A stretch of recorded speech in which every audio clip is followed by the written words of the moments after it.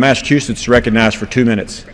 Thank you, Mr. Speaker, and thank the gentleman for yielding. I was sitting back in my office trying to get some desk work done and watching this debate, and I had no intention of speaking, but just heard these arguments so many times, and they're tiring, to be perfectly honest. So I did a little bit of work. I came up with a couple of quotes that I wanted to read.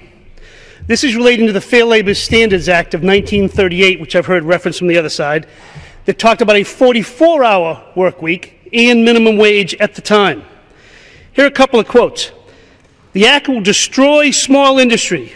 These ideas are the product of those whose thinking is rooted in an alien philosophy and who are bent upon the destruction of our whole constitutional system and the setting up of a red labor communist despotism upon the ruins of our Christian civilization. That's a quote from Representative Cox from Georgia. The Fair Labor Standards Act constitutes a step in the direction of communism, Bolshevism, fascism, and Nazism. That's a quote from the National Association of Manufacturers. The Fair Labor Standards Act would create chaos in business never yet known to us. No decent American can take exception to this attitude.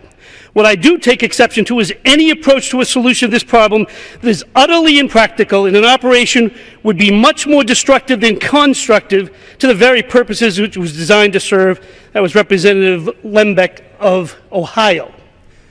These arguments are not new. When, oh when, are you going to get tired of being behind history? When are you going to get tired of holding the American people back?